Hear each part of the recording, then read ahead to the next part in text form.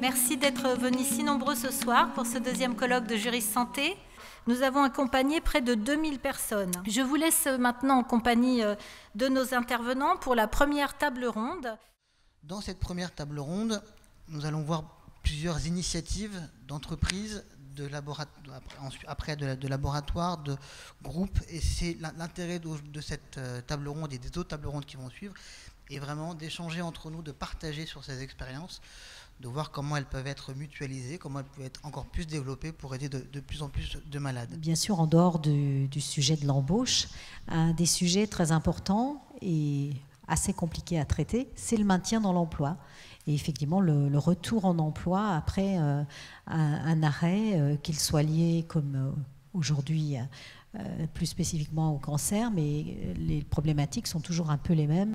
Donc euh, nous avons mis en place une lettre que nous adressons au bout de trois mois d'arrêt à tous nos collaborateurs en les informant de la possibilité qu'ils ont de passer une visite médicale de pré-reprise. Ce que l'on veut savoir, c'est les incidences que cela va avoir sur la tenue du poste et s'il va falloir aménager des choses, que peut-on envisager, etc les environnements professionnels, les organisations euh, du travail euh, constituent des, espaces euh, avec des ressources, que ce soit les ressources des, salariés, les ressources de l'entreprise. Souvent, quand on améliore les conditions de travail pour une catégorie de population, c'est ça qui est bien, c'est profitable à tout le monde.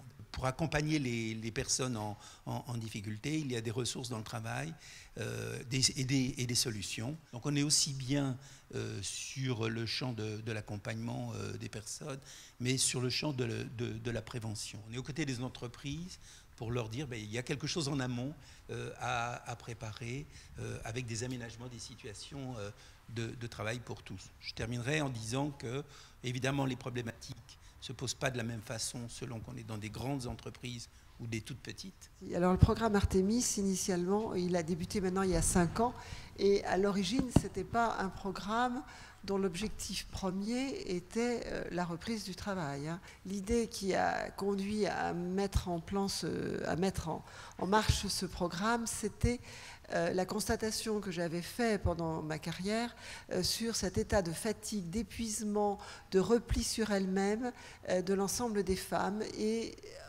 aussi cette sensation qu'elles avaient à la fin des soins, des traitements médicaux, radiothérapie, etc., d'être abandonnées.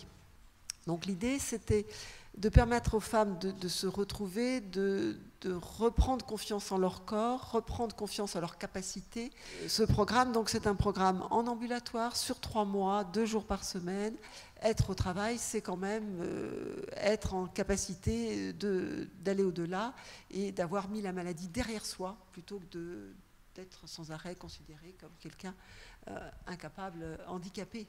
On a eu l'opportunité euh, de pouvoir travailler cette année sur le, programme Artemis, en s'interrogeant un peu sur toutes les difficultés que pouvaient rencontrer ou comment vivaient les, femmes ayant eu un cancer du sein, à la fois leur, leur expérience de vie, leur expérience de la maladie, leur vision évidemment du, monde du travail, de leur activité professionnelle, et, comment cette maladie avait bouleversé peut-être un petit peu leur, façon de, voir le monde, de voir la vie, de voir le travail, etc.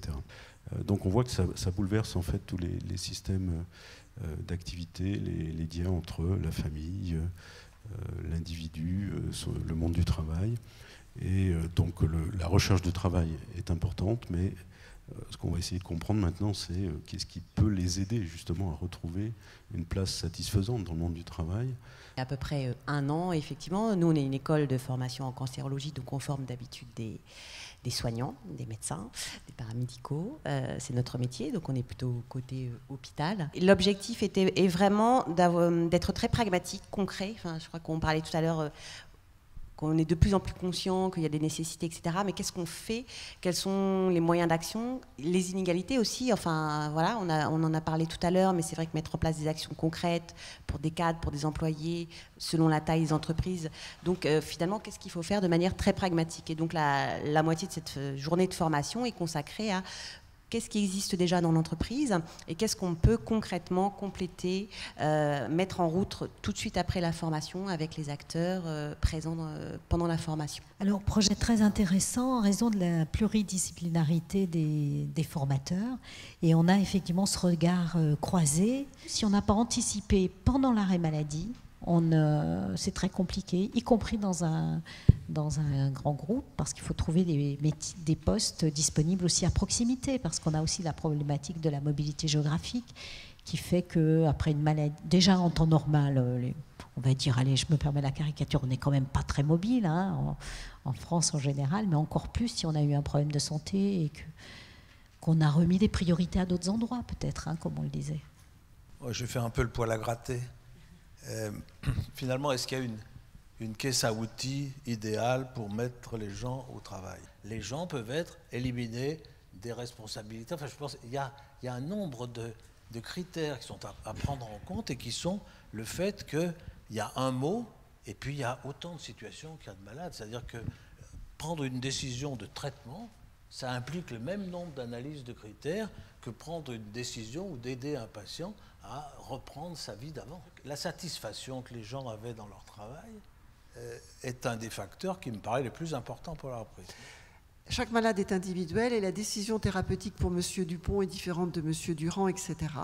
Mais on a des règles, on a des recommandations et on sait qu'on a des arbres décisionnels, etc. Et je pense que là, on doit se creuser la cervelle, parce que c'est difficile, pour qu'on essaye d'établir des arbres décisionnels, des règles, de façon à être le plus juste possible. On voit bien que le mot cancer en lui-même est quand même, reste encore très tabou euh, euh, à, prononcer dans les entreprises. Donc c'est vrai que toute action un petit peu cadrée, même collective, peut après permettre de libérer la parole pour être sur du cas particulier. La problématique de libérer la parole est importante parce que, euh, alors je vais enfoncer une porte ouverte, hein, je pense que ça paraît une évidence à chacun, mais je vais quand même la, redire.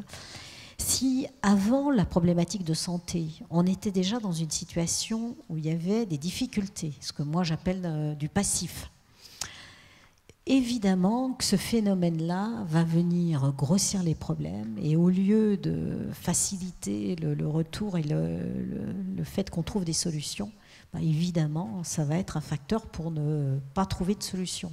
Ce qui est très important, j'y reviens encore une fois, c'est le médecin de santé au travail. Parce que lui, il va pouvoir euh, être celui qui va permettre à la parole de se remettre en circulation. Le malade n'a pas forcément envie aussi de, parler de son problème de santé, et puis il est centré sur ses traitements.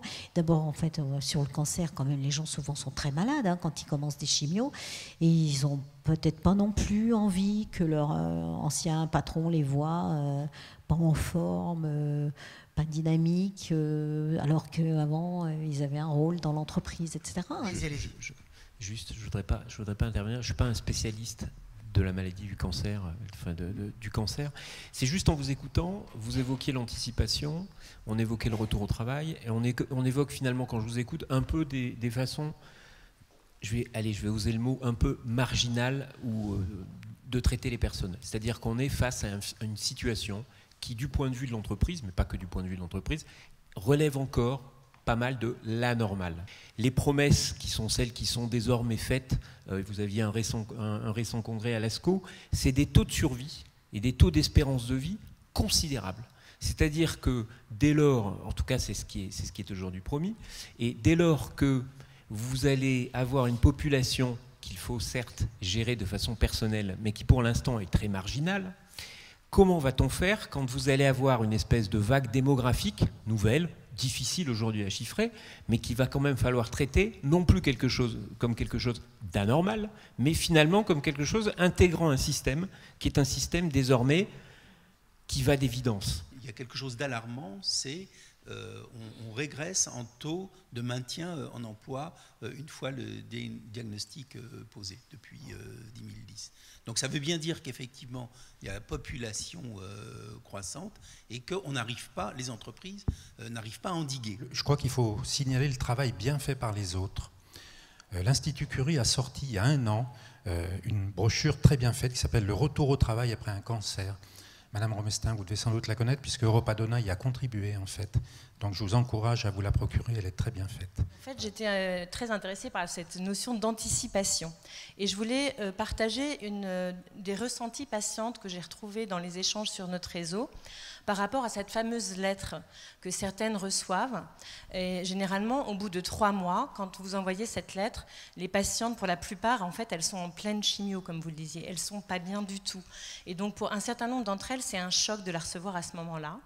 Et du coup, j'insiste sur le fait que c'est important que les médecins, les équipes médicales nous préviennent, nous disent c'est important, et, cette brochure vient aussi le, rappeler, qu'il peut y avoir comme ça des courriers qui vont arriver, Peut-être que ce ne sera pas le moment pour moi de dire oui, je viens vous voir tout de suite. Peut-être qu'on pourra discuter pour que je vienne un mois après. Mais euh, pour poser les choses et que les personnes ne le reçoivent pas comme une agression, mais bien comme euh, un, élément qui pourra les aider dans quelques mois à revenir euh, dans l'entreprise. Dans cette lettre, on est je peux vous dire qu'on l'a tournée, on a même remodifié des paragraphes, etc., pour être le moins enfin, pour pas que les gens le perçoivent de façon négative. Et on, joint une notice euh, qui est faite par la CARSAT euh, qui explique ce qu'est la visite médicale de pré-reprise pour être le plus en retrait possible et voyez, faire parler la, sécurité sociale à notre place quelque part et on explique bien que c'est que s'ils le souhaitent, que c'est à n'importe quel moment de l'arrêt, etc. C'est à manipuler avec la plus extrême prudence parce que les patients, les patientes craignent toutes les intrusions de l'extérieur. Enfin, je veux dire, un contrôle de la sécurité sociale, c'est vécu comme une agression, parce que, mais enfin, ils, doivent savoir ce que j'ai, ils remboursent et ils, me contrôlent. D'accord? Et euh, ce ce que vous expliquiez tout à l'heure concernant l'évolution des traitements et effectivement le fait qu'on va avoir des patients qui vivent plus longtemps avec des maladies contrôlées, avec des traitements moins visibles, moins. Il n'en demeure pas moins que ces patients, ils sont, ils peuvent être pas bien. Une petite responsabilité. Voilà, grosse responsabilité. Donc merci beaucoup, euh, merci à Dominique pour m'avoir invité, merci aux orateurs qui, euh, qui m'ont beaucoup appris euh, lors de cette, de cette séance. Moi, j'ai quelques petits éléments à, à donner à un vrac comme ça. Euh, et puis quitte éventuellement à discuter euh, par la suite après euh, la, fin du colloque. Donc la première chose, c'était effectivement cette perte de confiance qui est générée par, par le diagnostic et par la confrontation avec la maladie. Perte de confiance qui a été dit vis-à-vis de soi-même, vis-à-vis de, son entourage, vis-à-vis des, collègues et de, sa place, de sa valeur face dans, le, monde du travail. Le rôle de l'association est fondamental, c'est un pivot de la démocratie sanitaire, donc n'hésitez pas à poursuivre votre soutien des associations présentes et celles qui sont en dehors.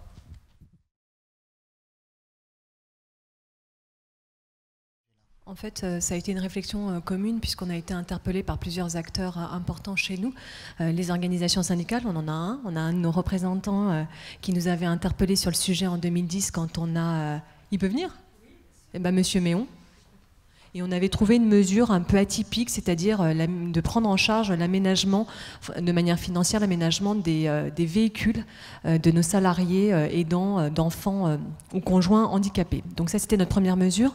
Ensuite, on a été interpellé par notre organisme de prévoyance, la G2R, qui nous avait dit qu'il fallait absolument qu'on s'occupe de ce dispositif-là. Et donc, on a essayé, en partenariat avec le Conseil général de la Loire et un psychologue, de justement parler de cette thématique auprès de collaborateurs L'idée et je pense que le, principe des partenaires sociaux, euh, principalement des syndicalistes, c'est d'améliorer la vie collective, on va dire des salariés, puisqu'on parle des, salariés, et d'avoir des boîtes à outils. Je crois que la volonté que l'on a dans les boîtes à outils, dans ce domaine, mais dans, tout, dans le domaine de toutes les discriminations et autres, ou de la diversité comme on peut l'appeler, c'est de donner à tous ces managers qui sont aujourd'hui isolés, qui ne savent pas quoi faire face à une maladie, face à un cancer, puisque c'est le sujet d'aujourd'hui, leur donner les boîtes à outils, comment réagir, ou éventuellement les bons interlocuteurs pour arriver à régler un problème. Alors, Aidant Attitude est né euh, il y a 5 ans au décès de mon père. Moi, j'ai aidé mes parents, euh, j'ai été donc euh, aidant actif dans une grosse entreprise pendant plus de 10 ans. Ma mère a eu un cancer et ensuite mon père a déclenché une maladie rare qui est une maladie de Richardson. Donc aidant attitude, rapidement, c'est un fonds de dotation et non pas une association.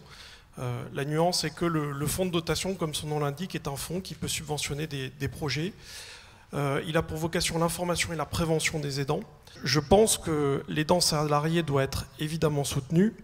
Je pense qu'il faut aller vers les aidants parce que les aidants vont pas aller d'eux-mêmes euh, vers les autres. Et euh, pour ça, je pense qu'il faut multiplier les points d'information. L'entreprise est un lieu dans lequel on peut multiplier les, points d'information, vous l'avez très bien dit. Dans chaque entreprise, il y a des aidants. Pourquoi pas les mettre en réseau et pourquoi pas euh, faire en sorte de les valoriser? Parce que quand on est aidant, on ne se sent pas très valorisé dans l'entreprise parce qu'on est coincé entre un emploi du temps extrêmement difficile à l'extérieur et gérer les intervenants, et sa hiérarchie qui demande des résultats. Quand on est dans, on, débute, on est perdu, on a besoin d'informations, on a besoin de mettre en place une organisation, et si on peut appeler un, numéro de téléphone euh, ou avoir quelqu'un en face de soi, hein, euh, assistante sociale, médecin du travail ou autre, euh, qui puisse donner des informations sur les premiers pas à faire, orienter, guider, rassurer surtout, parce que ça c'est extrêmement important. Je, crois que là, c'est un point important à souligner pour les entreprises. Effectivement, la proximologie, c'est un néologisme, donc on ne le trouvera pas dans, le dictionnaire, euh, même s'il y a eu euh, des tentatives, en tout cas des discussions à ce sujet de la part des aéropages. mais c'est un néologisme et il vise à désigner en fait un engagement donc qui maintenant a plus de 15 ans. Et en fait, c'est 15 ans de recherche, 15 ans de formation, 15 ans d'action dédiés à l'entourage des personnes malades, handicapées, quel que soit leur âge, on a beaucoup parlé de femmes sur la première table ronde, mais ça concerne aussi les hommes. Euh, et finalement, pluripathologique. Il y a eu des engagements, euh, je ne dirais pas une charte, parce que ça ne s'est jamais appelé euh, une charte, mais un certain nombre d'engagements qui ont été formalisés, écrits et donc validés, qui sont toujours d'ailleurs valables par la direction, et qui visaient notamment à dire, eh bien, nous allons essayer de favoriser le dialogue en interne. Il y a juste cinq points sur lesquels j'aimerais insister sur l'ensemble de ces mesures. Euh, d'abord bien évidemment, elles sont toutes perfectibles euh, et, je peux vous assurer que quand je revois euh, même le texte de, certains, je pense notamment à l'accord du congé de Proximo, je me dis on le referait maintenant, très certainement qu'on l'écrirait différemment, ça évolue dans le temps et, en même temps c'est assez normal et assez logique. ces mesures-là, elles n'ont pu être mises en place que parce qu'il y a eu un travail collectif, ça a été une collaboration entre l'ARH, la médecine du travail, les organisations syndicales, euh, les managers aussi et les salariés. Donc c'est un travail d'entreprise et ça n'est pas un travail d'un service uniquement. Et tout ça finalement repose sur un capital confiance. Alors il est euh, long à construire, il est très facile à péter, on ne va pas se mentir, mais ça repose sur un capital confiance, il faut en avoir conscience, c'est-à-dire que c'est quand ces différents dispositifs sont proposés, on est dans une logique de parcours, c'est-à-dire les personnes peuvent activer telle et telle mesure de façon complémentaire à ce qui existe hors de l'entreprise et dans le cadre législatif, mais ce sont des parcours, comme il y a des parcours de vie, comme il y a des parcours de soins, il y a des parcours de santé. Euh, mais ça repose aussi euh, sur un capital confiance, puisqu'on ne consomme pas des dispositifs, ça repose sur du lien derrière. Et puis, euh, finalement, c'est peut-être là le point le plus important. C'est on s'est rendu compte, notamment euh, auprès euh, par le dispositif de la formation, c'est que ces différentes mesures, en fait, réinterrogent en permanence sur son propre rapport à la maladie et à la mort. Alors, c'est une lapalissade, hein, ce que je dis, mais finalement, ce sont autant de, de détours, en tout cas, pour réinterroger chacun sur sa propre perception euh, de qui il est, qui il est y compris quand il est malade, quand il est fragilisé pour différentes raisons, et qui il est aussi dans sa compréhension, acceptation, non acceptation de la mort. Pour ma part, je suis de plus en plus sollicitée par euh, des grands groupes OK, mais des PME également, et en tout cas dans la Loire, en tant qu'acteur engagé, à chaque fois qu'on nous, à nous pose des questions, on nous demande d'intervenir sur les aidants familiaux, on le fait euh, spontanément, et je pense que des entreprises prévoient des dispositifs à destination des salariés aidants, mais l'appellent pas ainsi, mais des dispositifs existent, et c'est ça qui est important. Effectivement, dans la réalité, euh, on aimerait tous avoir euh, un proche, en, étant malade, qui travaille soit chez Novartis, soit chez, Casino. La réalité, effectivement, est, elle est encore très très loin. Le problème des dents, pour la plupart des fois, c'est euh, les dents du conjoint, du, de l'ascendant, d'un enfant majeur. Et là, tout le problème est qu'effectivement, elle est. Donc, il n'y a pas de loi Matisse et tout est basé sur euh, le, bon, euh, le bon sentiment, les bons sentiments de l'entreprise ou des collègues. Si on n'a pas des relais dans l'entreprise, et ça peut être des relais multiples. Euh, ça peut aller du manager euh, en passant par euh, le psychologue, en passant par la DRH, en passant par la RRH, en passant par la plateforme téléphonique, vous l'avez très bien dit, les congés, etc. Je pense qu'on peut, on peut très vite être perdu et aboutir à des situations d'extrême gravité, c'est-à-dire du burn-out. Il y a une caractéristique qu'on n'a pas dit, c'est que les aidants, on va dire à 90%, et moi je l'ai vécu au départ, ne veulent pas se faire aider. Donc c'est pour ça que je dis il faut aller vers les aidants. Déjà, s'il y a 50% du chemin fait par les entreprises en mettant en place un certain nombre de systèmes de, points d'information qui sont ce qu'ils sont, bah, c'est à l'aidant de faire 50% du, trajet et c'est déjà beaucoup. Donc en termes de culture, euh, de, nature des échanges, de libération de parole, ça change forcément quelque chose. Et selon, je pense que nous sommes euh, au niveau du siège ou à d'autres endroits, là aussi, ça, change la nature des solidarités, ça change le tissu, la manière dont c'est composé. Donc en cela, ça ne me semble pas non plus pouvoir être calcable directement. Il y a peut-être effectivement une voie qui est l'interentreprise et la mutualisation d'un certain nombre de services.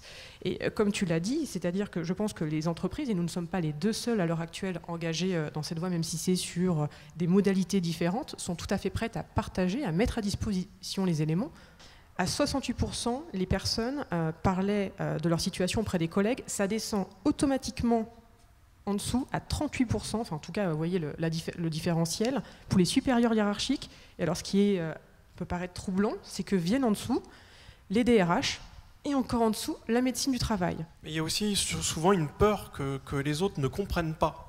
Euh, la situation quand on est aidant Nous, on a mis en place des ateliers de groupe, des groupes de parole animés par une psychologue, externe au, externe groupe, entre midi et deux, euh, avec inscription sur la base du volontariat. Et euh, il y avait dix personnes qui se sont inscrites. Et au bout de course, au bout de quelques mois, vous étiez trois.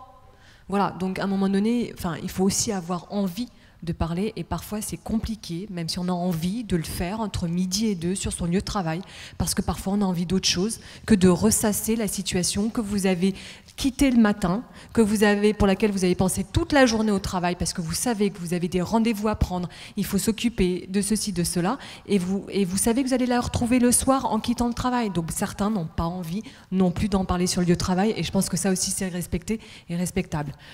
Euh, lorsque l'on a insisté pour que le mot aidant soit inscrit dans un accord. L'idée n'était pas de faire quelque chose, mais juste de reconnaître ce statut d'aidant. Je pense que les grandes entreprises font des actions, font des boîtes à outils, mais ces boîtes à outils, dans les, dans les PME, ce n'est qu'un service d'une entreprise. Et il y a beaucoup de PME, beaucoup d'artisans, qui mettent en place un certain nombre d'actions, qui ne le font pas connaître, mais qui sont aussi actifs dans le domaine des aidants parce qu'ils vivent tous les jours avec leurs salariés et ils sont encore plus proches que dans les grandes entreprises. Cette question des salariés aidants, elle peut être euh, parfois vécue un peu comme une double peine, celle d'être aidant et d'avoir ce quotidien compliqué et celle de perdre son emploi, alors parfois progressivement et parfois on perd son emploi sans même s'en être rendu compte parce que la situation a fait que, mais tout s'est passé en même temps et moi je rencontre des aidants qui, euh, des années après, comprennent toujours pas comment ils ont pu euh, en arriver là, si on peut dire. Oui, ce que vous avez dit est très juste sur les aidants euh, salariés, les aidants actifs.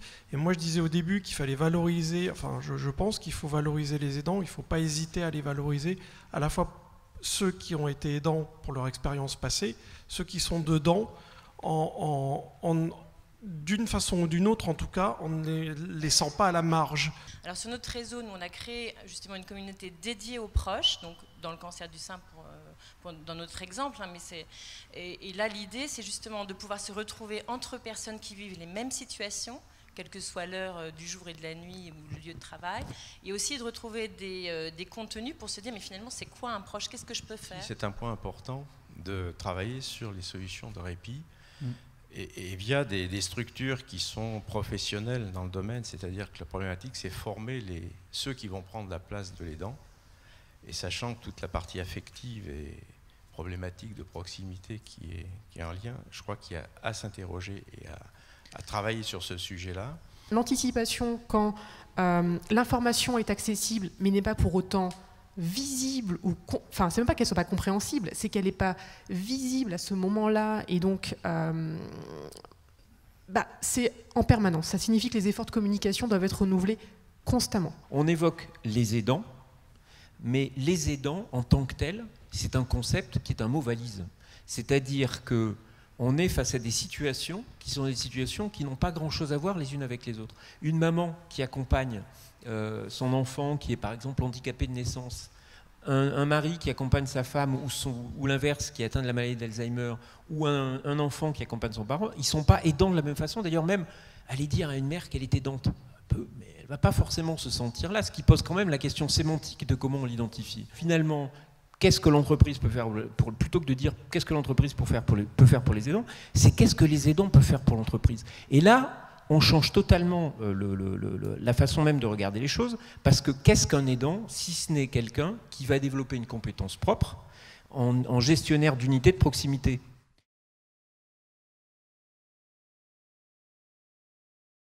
J'ai été cadre supérieur dans une société de promotion immobilière avec 17 ans d'expérience.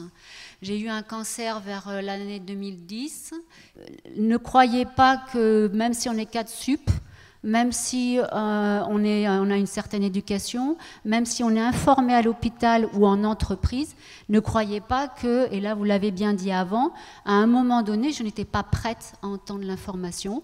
Et il a fallu vraiment la connaissance de jury santé parce que j'étais en transition professionnelle, je fais un DU de management de la qualité de vie au travail, que j'ai fait des rencontres et que j'étais mûre à ce moment-là. Je devais aussi faire face à cette acceptation de mettre un statut social je vais faire un dossier de RQTH. Euh, je pense que l'aspect financier est quelque chose d'extrêmement différenciant euh, pour, tout le monde et que euh, en fonction de ses capacités financières, eh bien, on ne meurt pas pareil. Le, répit, oui, c'est indispensable, mais encore faut-il qu'il y ait des solutions. donc il y a des solutions, je vois le monsieur qui hoche la tête en face de moi, qui sont en train d'être mises en place. Évidemment, il faut un peu de temps pour trouver des solutions, les mettre en place, ça coûte de l'argent, et puis c'est de l'organisation. L'inégalité liée au revenu dans la maladie, elle est autour de ce qui est le soin de confort, enfin, confort du malade, confort euh, de la famille, enfin, aide, etc. Quelque part, je ne veux pas dire que tout est rose, mais les fins de vie en matière de pathologie cancéreuse sont beaucoup mieux gérées, généralement.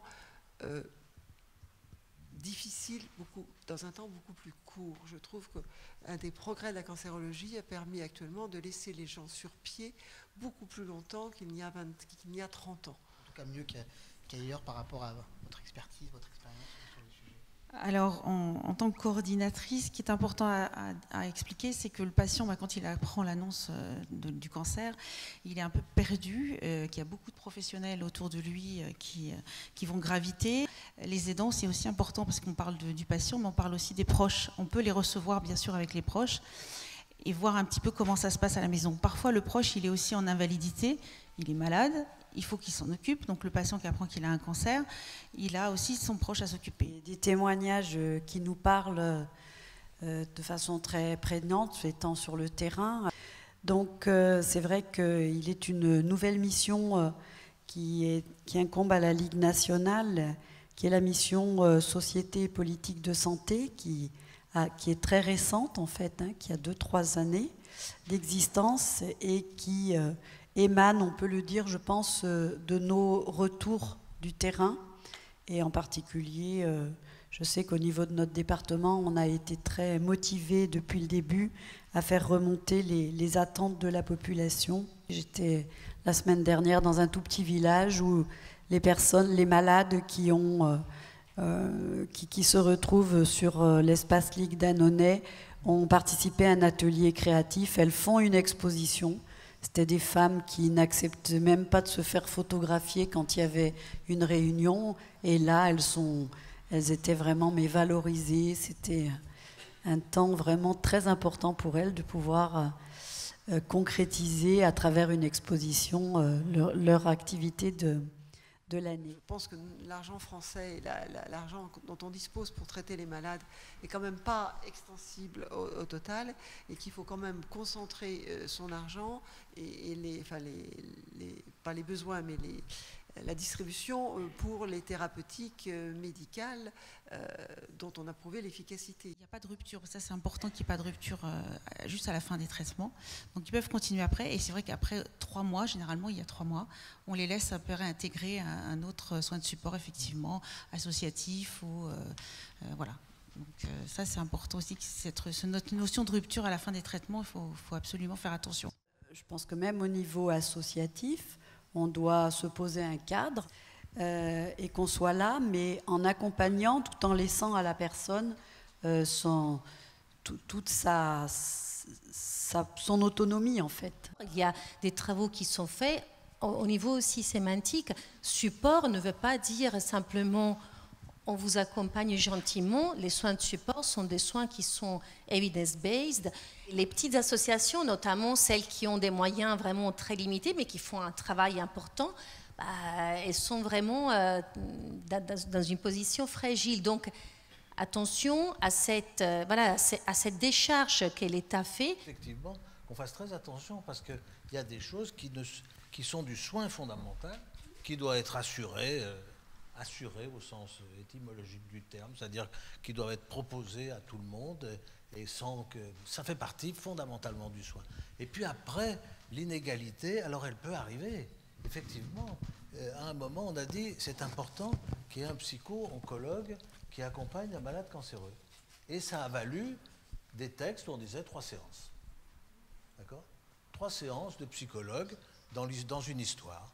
Alors, trois séances de psychologue dans une histoire, là où tu retrouves l'inégalité, c'est que si tu peux payer la quatrième, tu la payes, et si tu ne peux pas, tu ne la payes pas. Le progrès a un coût, il faudra qu'on choisisse, d'accord? Donc il faut qu'on fasse attention quand on organise ces choses-là, de bien présenter ce qui est le fondamental et ce qui l'est. Il est vrai qu'on ferme les centres, les services euh, de soins de donc euh, SSR, hein, de soins de suite et réadaptation. Et c'est vrai qu'on a des appels de personnes qui justifieraient d'avoir un, petit passage intermédiaire euh, euh, dans ce genre de service avant de rentrer chez eux, parce qu'on reçoit des, des, appels de détresse qui montrent que ces personnes ne sont pas en état de s'assumer ou d'être accompagnées à la maison.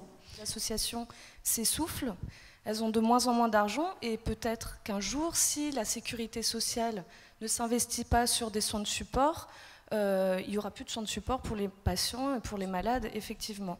Effectivement, il y a après derrière des choses qui ne sont pas et qui peuvent relever de l'associatif avec toutes les limites qu'il y aura à faire de l'associatif. Mais après, donc, on se retrouvera dans ce que je disais tout à l'heure sur l'inégalité. La conclusion, c'est qu'effectivement, on met le doigt sur le problème de la réalité économique et de la situation dans laquelle on se trouve au niveau des espoirs des traitements, des possibilités que l'on aura de faire et de la nécessité dans laquelle le système d'organisation du financement de la santé est en train de réduire, fermer, fermer. Donc il va falloir qu'on ajuste, on adapte les moyens, qu'on les organise, qu'on les rationalise, d'autant plus que effectivement, on se rend compte qu'il y a des tas de domaines à explorer, il y a des tas de et qu'effectivement, il faut tout faire pour aider ces patients. Alors ce que je, que je remarque ce soir, c'est que on a quand même parti de la maladie cancéreuse qui était le thème un peu et on est parti sur dans les aidants, on s'est bien rendu compte qu'on part sur des pathologies qui sont complètement de nature différente, avec euh, des problématiques qui en sont propres, mais c'est intéressant parce que ça pose de toute façon le problème de l'objectif, la définition des moyens et ensuite le financement des moyens pour, pour remplir l'objectif. Il faut que le traitement soit accessible à tous. Alors, accessible à tous sur le plan économique, la base, on est égalitaire, et puis on a vu que pour ce qui est du, du SUS, eh ben, les charges montent lourdes de ce qui est le non remboursé, le non pris en charge. Et puis après, il y a les problèmes de l'organisation territoriale. effectivement, euh, vivre sur le haut plateau de l'Ardèche, c'est super sympa, sauf quand on est malade. Voilà, parce que le jour où on est malade, ça devient problématique, surtout les soirs où il y a la burle, c'est comme ça que ça s'appelle. Et donc, euh, effectivement, entre guillemets, on ne peut pas tout avoir. Mais bon, euh, à un moment, on fait des choix dans la vie, et après, il y a les contraintes. Alors, effectivement, dans le domaine de la santé, on dit il faut qu'on fasse des réseaux, il faut qu'on se parle entre, entre intervenants. Alors, on a des moyens fantastiques aujourd'hui de communication, d'accord? Entre l'Internet, la webcam, le machin, le portable, tu peux parler à l'infirmière qui est là-haut, sauf si elle est vraiment dans une zone perdue où elle n'accroche pas. Mais effectivement, à partir de là, toute la difficulté, c'est le temps. Et, et maintenant, on peut aller boire.